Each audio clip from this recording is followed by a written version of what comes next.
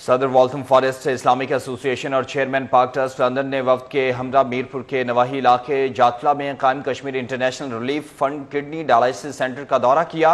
बरतानिया से आए वक्त ने किडनी डायलिसिस सेंटर में मरीजों के इलाज के लिए किए जाने वाले इकदाम को सराहा। रिपोर्ट कर रहे हैं जाहिद बशीर चौधरी।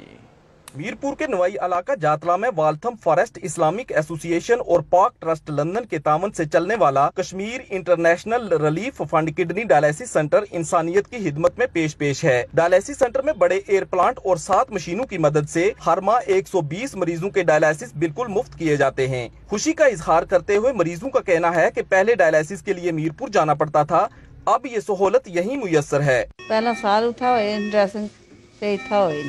तो बहुत अच्छे हुए। अल्लाह उन्होंने मदद दिया क्लासेस कराते पहले मीरपुर में कराते रहे तो अभी इधर हैं। छः सात महीने इधर हो गए।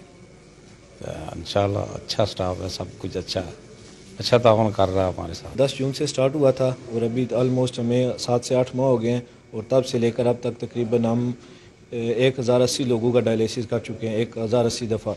और अभी हमारे पास रजिस्टर्ड सोलह पेशेंट हैं दो पिछले मंथ में हमारे पास रजिस्टर्ड हुए हैं। तो अभी हम सिंगल शिफ्ट में चल रहे हैं और अभी मजीद पेशेंट अगर आएँगे तो इनशाला हम नेक्स्ट मंथ से मोस्ट प्रॉब्ली डबल शिफ्ट शुरू करेंगे। सदर Waltham Forest Islamic Haji Mohammad Ramzan secretary general Raja Mohammad Ilyas और chairman Pak trust London Sajid Ramzan ने डायलिसिस सेंटर का दौरा किया और इंतज़ाम को बेहतरीन करार दिया। वफद का कहना था की डायलिसिस सेंटर में मरीजों का मुफ़्त इलाज देकर दिली खुशी हुई। बरतानिया में मुकीम डोनर्स की अतियात सही जगह आरोप खर्च हो रहे हैं। बहुत खुशी हुई मुझे यहाँ अमले से मिलकर, यहाँ के स्टाफ से मिलकर, डॉक्टरों से मिलकर, और ख़ास करके मरीजों से बात जो की है, उनकी तरफ़ से हौसला अफजाई हुई है। uh, in the last four months. I was last here in October 2021 and today I, am visiting again uh, March to, uh, 2022. Alhamdulillah, it's a fantastic facility.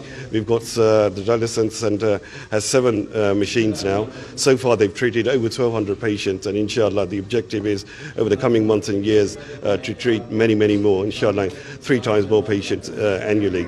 हमें ये सेंटर देख के बड़ी खुशी हुई है कि अपने गरीब बहन भाइयों का यहाँ इलाज होता है तो ठीक होकर अपने घर जाते हैं, अपने बच्चों को संभालते हैं।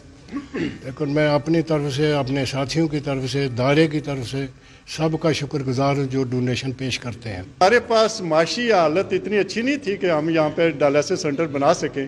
तो यहाँ पे फालथम फॉरेस्ट इस्लामिक एसोसिएशन के जनरल सेक्रेटरी राजा मोहम्मद अलियास साहब तशरीफ़ लाए, उनको ब्रीफिंग दी गई। तो उन्होंने हमें इनक्रेज किया कि हम डायलिसिस मशीन देंगे। टोटली ये डायलिसिस जो है, वो मरीज़ों को फ्री दे रहे इनसे एक पैसा पाई जो है, वो चार्ज नहीं किया जा रहा।